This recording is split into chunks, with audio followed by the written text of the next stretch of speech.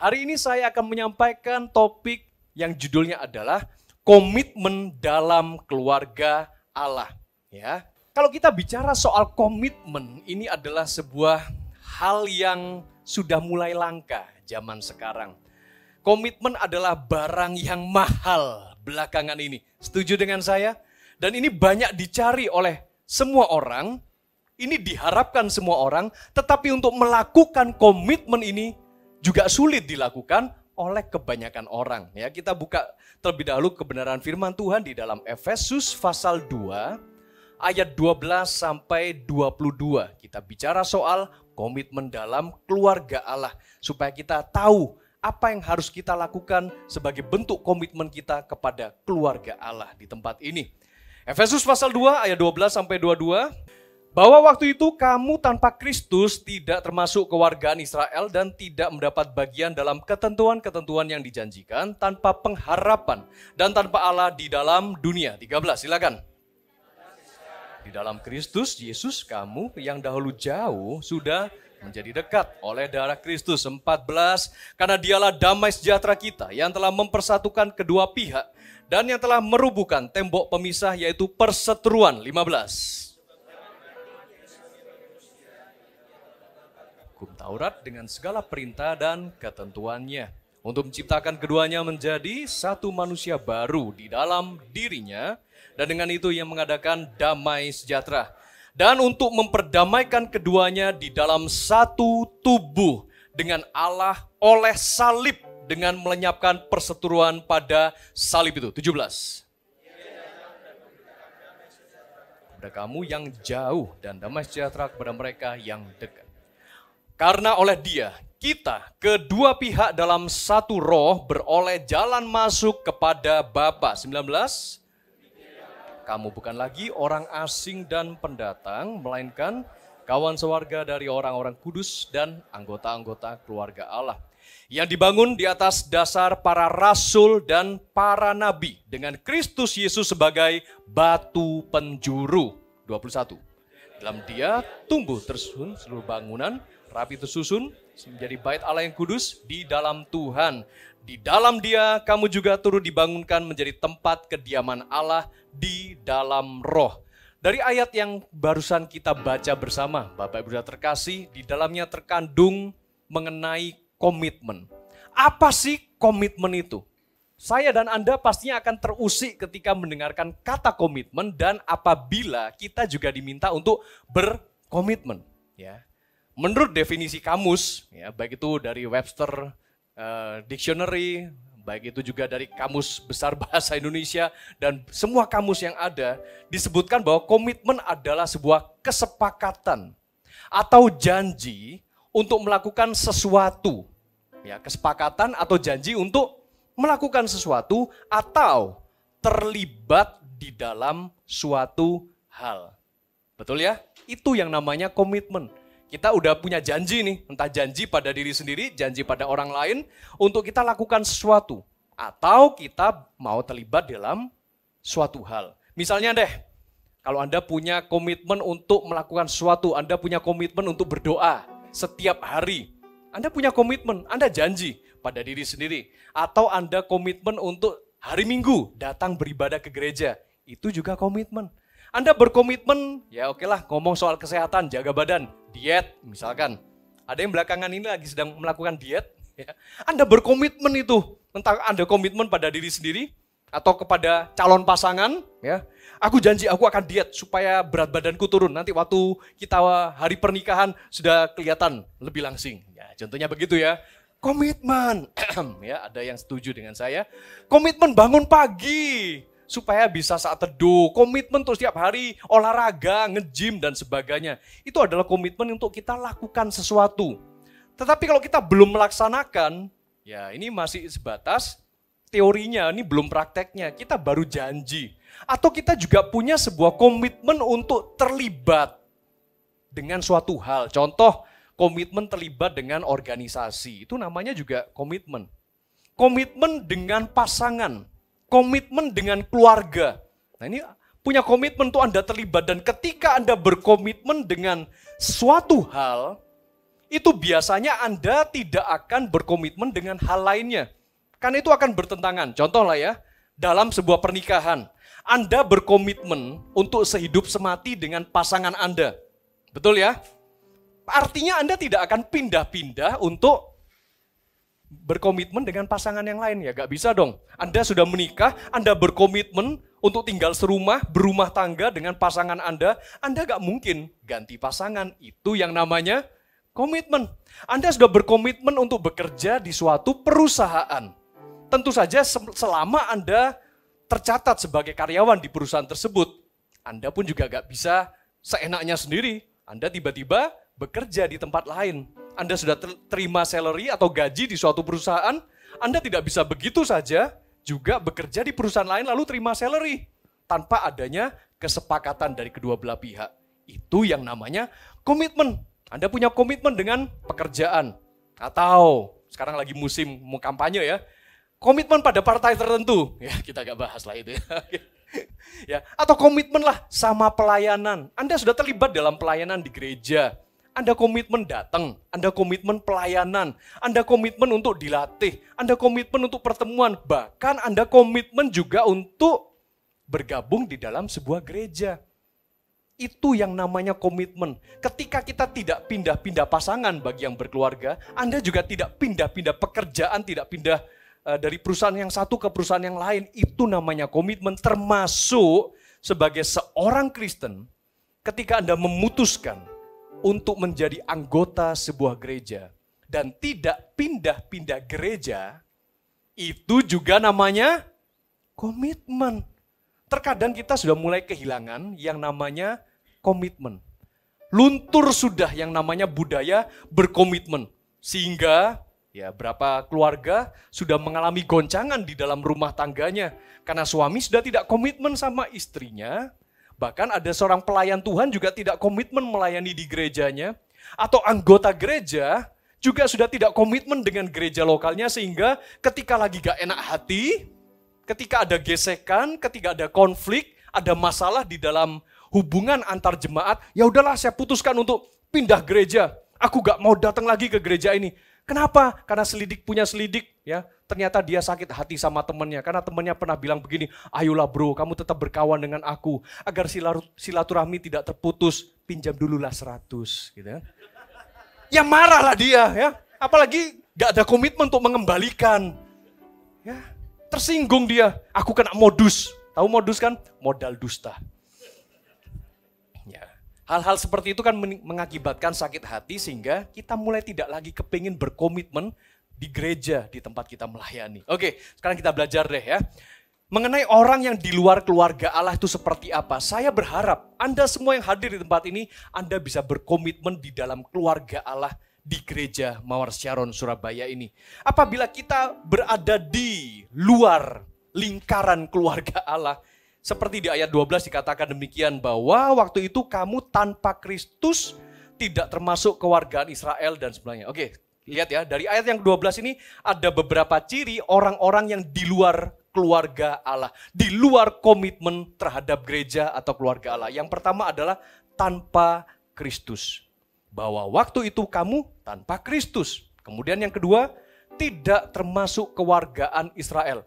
Saya jelaskan dulu. Pastor, lalu apa hubungannya ini dengan Israel yang sekarang mungkin lagi mengalami konflik peperangan di sana. Ini kita gak ngomongin masalah Hamas, Palestina dan sebagainya lah ya. Oke, ini surat yang ditulis oleh Paulus pada waktu itu kepada jemaat di Efesus. Dan jemaat yang digembalakan di Efesus itu ada yang sebagian dari orang Yahudi, orang Israel yang kemudian jadi Kristen.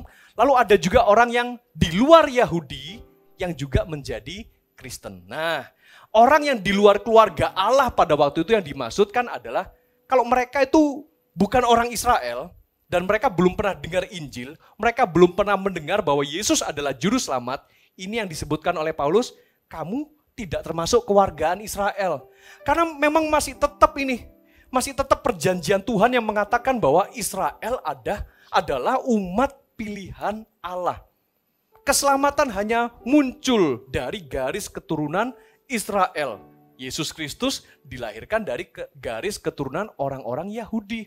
Oleh karena itu, bangsa Israel pada waktu itu dikenal sebagai bangsa yang dipilih oleh Tuhan dan dari Israel ini muncullah lahirlah Yesus Kristus yang menjadi juru selamat dunia sehingga pada zaman itu masih sangat melekat di dalam setiap pemikiran orang-orang yang ada di Israel, orang-orang yang bertobat, orang-orang yang menjadi Kristen bahwa keselamatan hanya dari garis keturunan Israel. Jadi orang di luar Israel, selain orang Yahudi, seolah-olah mereka belum diselamatkan. Tetapi Paulus pelan-pelan menggiring bahwa, oke, okay, katakanlah kamu dari bangsa lain, kamu belum keluarga Allah, kamu juga tetap diterima kok kamu boleh bergabung dengan bangsa kami, bangsa Israel, supaya kamu juga mengalami keselamatan yang datangnya dari Yesus Kristus. Oke, kita kembali di sini.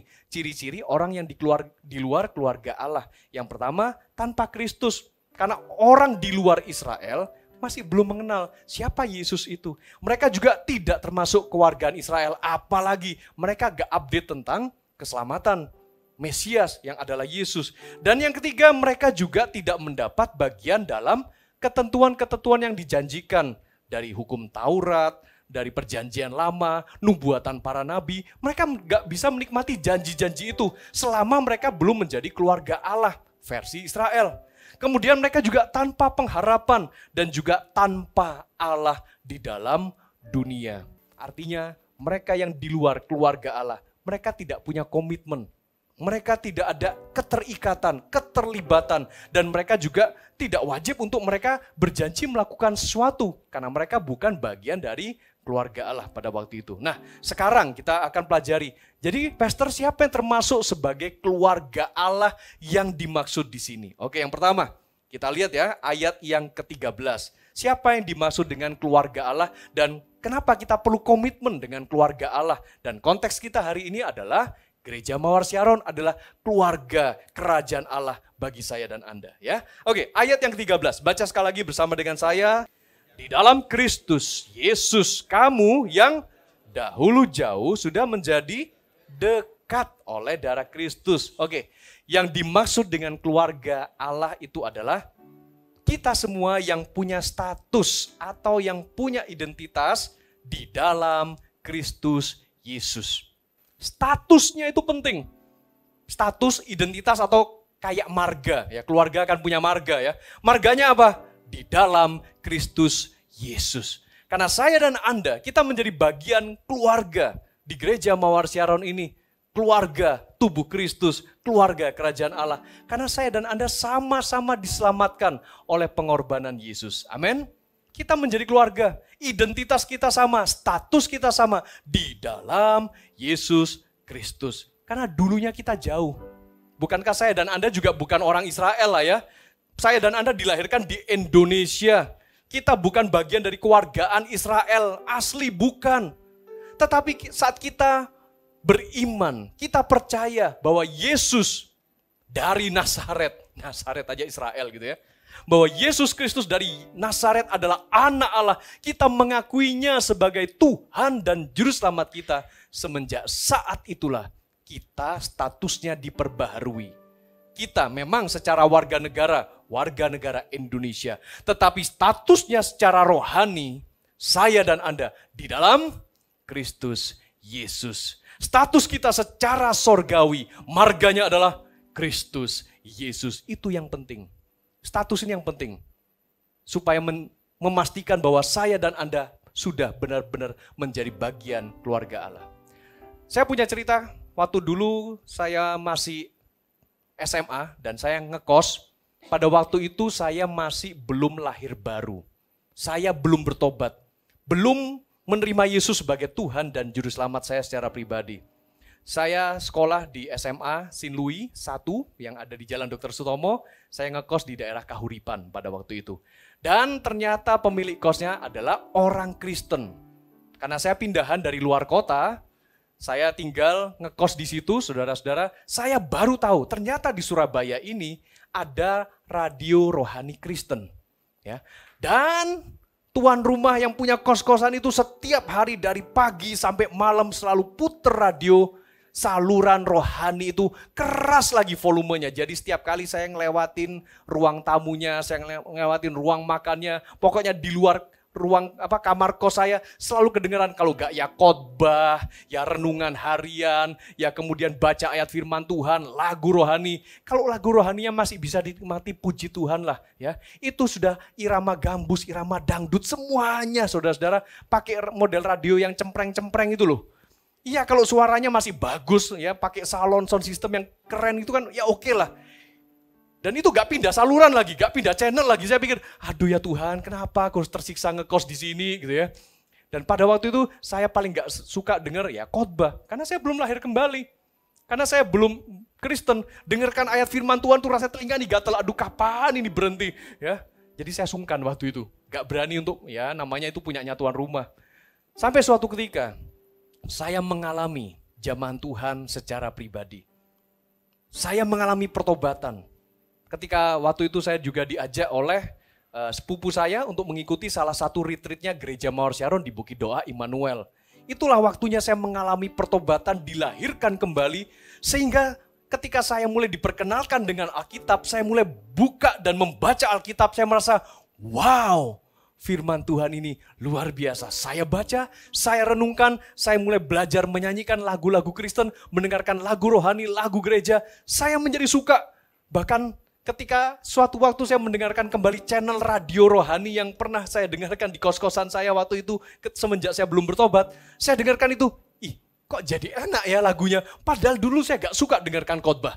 Dulu saya gak suka dengarkan lagu rohani. Saya gak suka dengarkan mau irama gambus, irama dangdut dan sebagainya. Sekarang suka banget. Suka-sukamu Tuhan. Kayak gitu pun saya suka. Ikut goyang lagi badannya. ya Kenapa?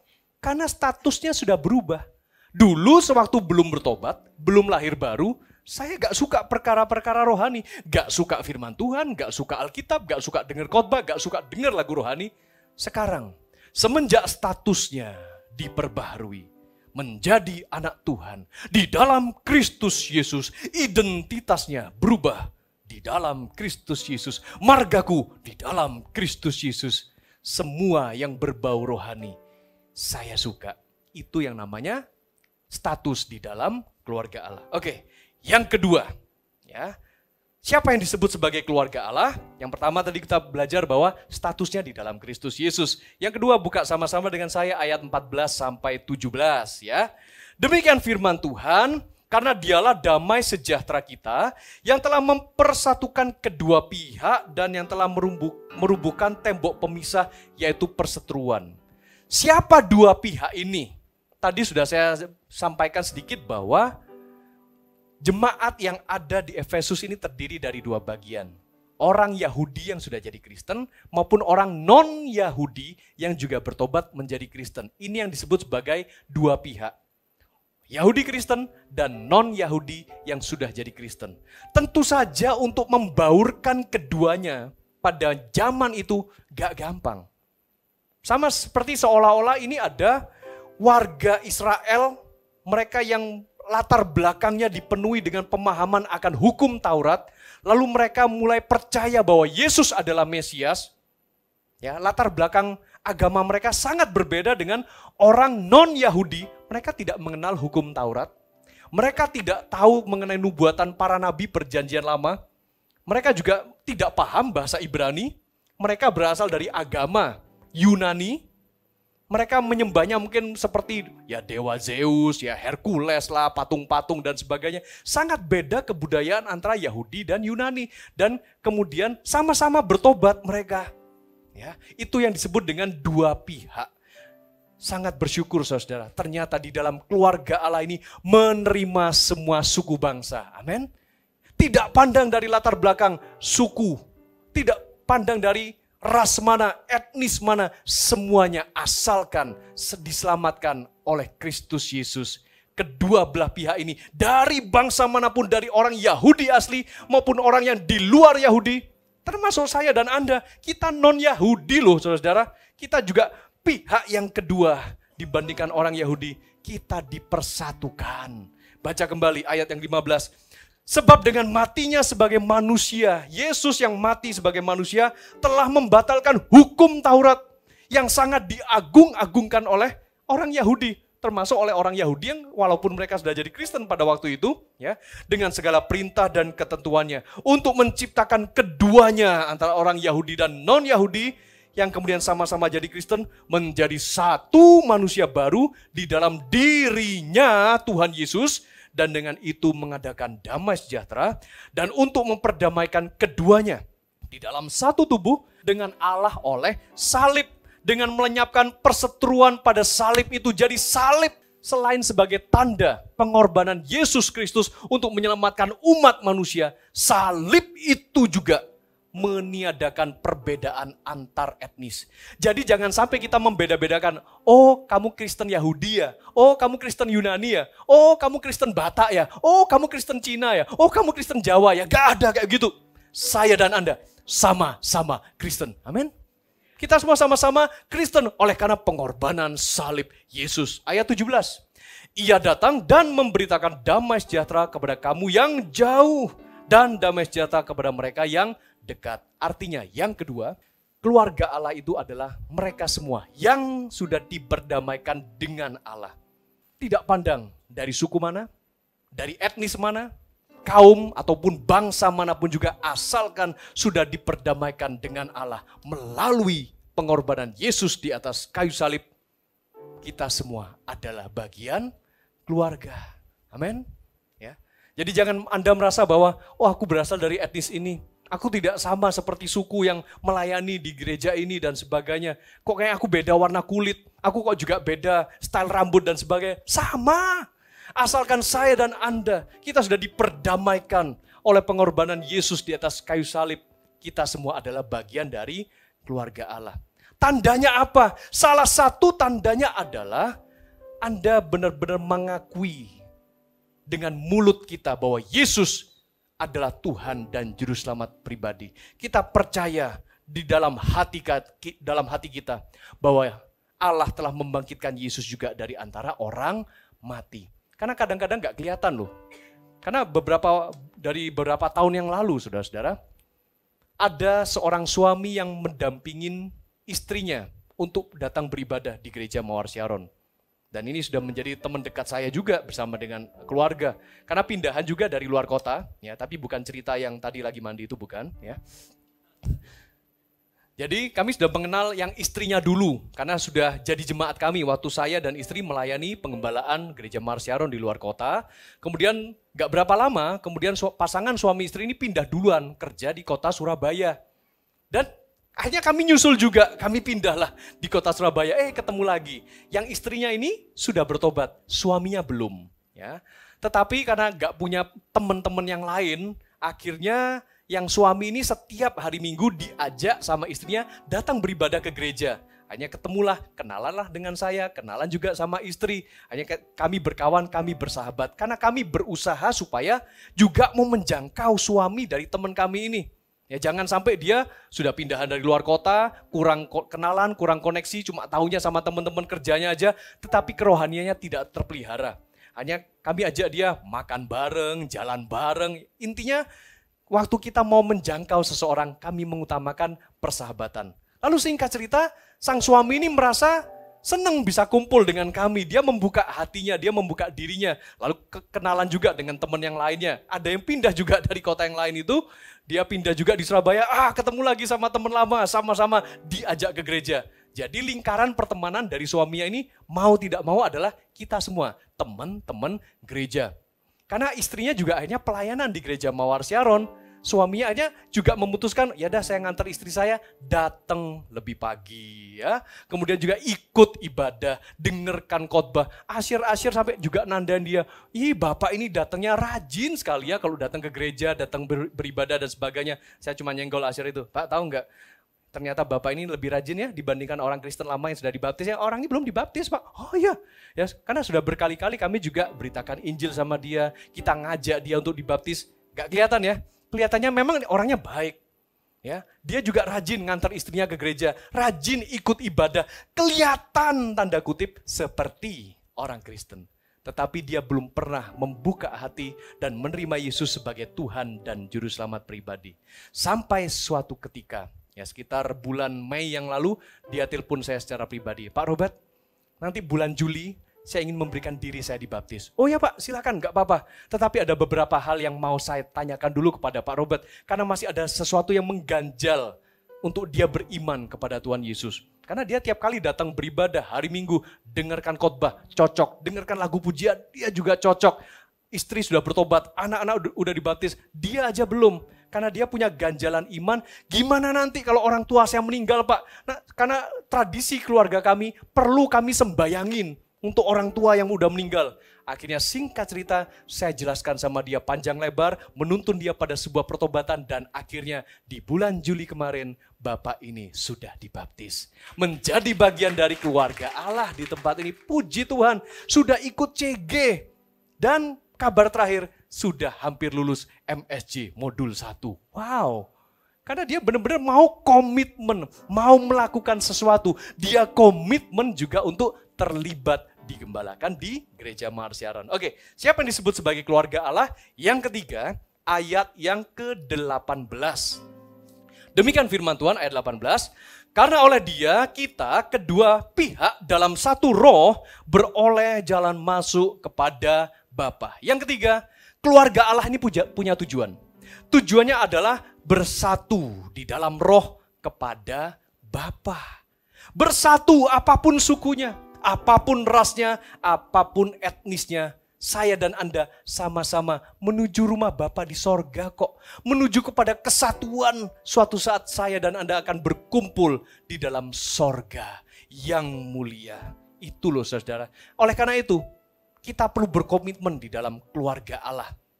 Dan praktek nyatanya selama saya dan Anda masih hidup di dunia ini, berkomitmenlah pada satu gereja lokal yang akan menggembalakan Anda. Jangan pindah-pindah gereja. Abis hari minggu ini ke gereja ini, minggu depan udah gak kelihatan lagi. Pindah ke gereja yang lain. Ke mana ya? Cari lagi ya. Karena di sini mungkin Anda mengalami proses mungkin. Anda gak tahan. Aduh pastor, saya kalau ada di gereja ini, pokoknya kalau lihat orang itu, saya jadi galau. Kenapa? Habis aduh, saya lihat, aduh tampangnya itu kelihatannya kudus aja pastor di hari minggu waktu di gereja. Tapi di luar sana bikin saya galau. Dia suka marah, dia cemberut dan sebagainya. Saya gak suka sama dia. Tahu lagunya orang galau? Bisa dipakai untuk saat teduh saudara. Segalaunya hatiku kau pun tahu. Ya, ada yang lagi galau ya. Galau ku hidup, ku hidup bagimu. Hatiku tetap, tetap menyembahmu. Galau-galau nyembah Tuhan. Bertobat loh ya. Ada kalanya kita mungkin harus mengalami proses saat kita memutuskan untuk berkomitmen. Oke, kita ngomong nih, gimana sih caranya kita berkomitmen dalam keluarga Allah? Sebutan kita begini di ayat 19 sampai 20. Demikianlah kamu bukan lagi orang asing dan pendatang, melainkan kawan sewarga dari orang-orang kudus dan anggota-anggota keluarga Allah. Coba saya coba berikan gambarannya nih ya, antara yang bukan keluarga Allah dengan yang disebut sebagai keluarga Allah. Keluarga Allah yang disebut sebagai kawan sewarga dari orang-orang kudus dan anggota-anggota keluarga Allah ini dibangun di atas dasar para rasul dan para nabi dengan Kristus Yesus sebagai batu penjurunya. Ya, yang bukan keluarga Allah tadi di ayat 19 disebutkan bahwa kamu bukan lagi orang asing dan pendatang. Nah, orang asing dan pendatang ini bukan keluarga Allah. Contoh lah ya, misalkan ada yang belum dibaptis, ada yang baru pertama kali datang ke gereja dan belum kenal Injil, belum ngerti kekristenan itu apa. Anda mungkin hanya sekedar ya cuman baru datang-datang aja ya, pendatang. Anda masih uh, orang asing, gak kenal siapa-siapa.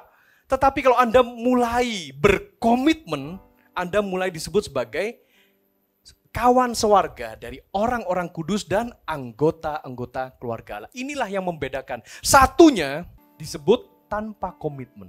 Dan satunya disebut dengan orang yang berkomitmen. Anda yang mana?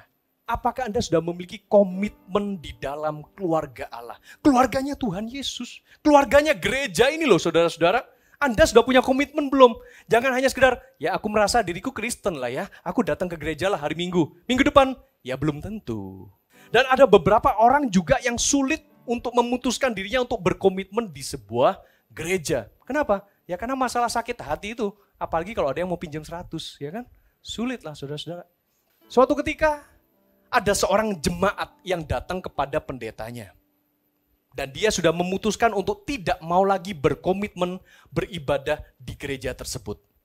Orang ini datang kepada Pak Pendeta dan berkata, Pak Pendeta ini hari terakhir saya datang beribadah di tempat ini. Mulai minggu depan dan seterusnya, jangan cari saya lagi karena saya tidak akan datang beribadah di tempat ini maupun ke gereja mana pun. Lalu pendetanya tanya sama dia, loh kenapa? Kamu tidak mau lagi berkomitmen di rumah Tuhan, beribadah di gereja ini. Karena saya lihat kehidupan setiap jemaat yang ada di tempat ini, mereka semua tidak baik-baik saja. Karena saya mendapati di antara mereka, ada yang selama beribadah berlangsung, mereka main handphone. Waduh, maaf bukan nyindir ya, oke, segera masukkan handphone Anda kalau gitu ya, oke. Yang kedua, saya perhatikan di antara mereka yang beribadah di sini, mereka sukanya gosip. Ya. Belum lagi yang ketiga, saya lihat kehidupan mereka banyak yang tidak baik-baik saja, alias mereka semua munafik. Oke, itu alasan saya tidak mau lagi berkomitmen datang beribadah di tempat ini dan ke gereja mana pun. Saya pamit ya, Pastor. Kemudian pendeta yang ngomong gini, oke, okay, sebelum kamu benar-benar memutuskan untuk meninggalkan gereja ini dan tidak mau lagi berkomitmen tertanam dan bertumbuh di tempat ini, ya sudah, kamu mau lakukan satu hal buat saya, tolong ambil segelas air yang penuh. Lalu kamu tolong puteri ruang ibadah ini sebanyak tiga kali. Anggaplah ini sebagai sebuah salam perpisahan. Oh gampang itu pastor, sini. Dia isi satu gelas, berisi air, lalu pastor berkata, jangan sampai tumpah ketika kamu kelilingi sebanyak tiga kali itu. Gampang. Kemudian dia perlahan tapi pasti sambil pegang ini gelas, karena isinya penuh kan dengan air. Jangan sampai tumpah, jangan sampai kececer. Dia konsentrasi penuh, dia puter. Putaran pertama, lewat beres. Tidak ada satupun yang tergoncang, yang netes. Dia putar lagi yang kedua, senyum sama pestanya. Gampang ini. ya Belum lagi sampai putaran yang ketiga, selesai. Dia kembalikan segelas air penuh kepada pendeta. Pester, sudah. Saya kembalikan segelas air ini tetap utuh. Bagus kalau begitu. Sekarang saya tanya sama kamu, selama kamu pegang gelas yang berisi air ini dan kamu usahakan untuk tidak tumpah, apakah kamu melihat di antara jemaat itu ada yang main handphone? Apakah kamu lihat di antara jemaat itu ada yang suka nggosip? Dan apakah ada di antara mereka yang hidupnya munafik? Oh ya jelas tidak, saya hanya konsentrasi penuh untuk memperhatikan agar air yang ada di gelas ini tidak tumpah sama sekali. Itulah pesannya. Selama kamu masih memperhatikan orang lain, selama kamu beribadah di gereja dan kamu tidak fokus kepada Tuhan Yesus, kamu akan gampang sakit hati, kamu akan gampang kecewa dan kamu tidak akan mengalami pertumbuhan. Tetapi kalau kamu mau komitmen sungguh-sungguh, pandang, fokus hanya kepada Yesus, maka kamu tidak akan memperhatikan sekitarmu ya. Ya mereka semua masih diproses lah ya. Mereka yang suka main handphone, mereka yang gosip lah, mereka munafik. Itu urusan mereka sendiri dengan Tuhan. Firman Tuhan mengatakan ikutlah Yesus, bukan ikutlah manusia. Bisa paham ya? Karena itu saya mengajak kita semua. Milikilah komitmen sebagai bagian dari keluarga Allah di gereja Mawar Sharon ini melalui Connect Group. Komitmenlah sama Connect Group. Komitmen beribadah setiap minggunya di tempat ini. Gak usahlah pindah-pindah ke gereja yang lain-lain saudara-saudara. Berkomitmenlah, tertanamlah, ber, ambil apa terlibatlah di dalam gereja ini, ambil bagian pelayanan di tempat ini, bertumbuh bersama-sama. Mau ke gereja lain kalau Anda juga tanpa komitmen, hatimu juga tetap gak fokus sama Tuhan Yesus, sama aja. Tetapi kalau Anda ada di tempat ini bukan suatu kebetulan. Ambil bagian, tertanam, berkomitmen di tempat ini, sekalipun mungkin ada konflik yang terjadi, ada proses kehidupan, dan tahu nggak, cara Tuhan mencintai kita? Ya salah satunya lewat proses kehidupan kan. Ku kagumi caramu mencintaiku. Ya kan lewat itu kan. Dan ketika kita mengalami, kau ada di cerita proses hidupku. Di titik terendahku, kau hadir untuk mengangkatku. Ku tahu kau tak menyerah akan hidupku alami aja prosesnya. Mungkin akan ada gesekan dalam hubungan antara teman gereja, antara teman connect group. Lewati setiap cerita proses itu. Dan Tuhan akan berperkara. Tuhan membentuk hatimu. Amin, saudara-saudara.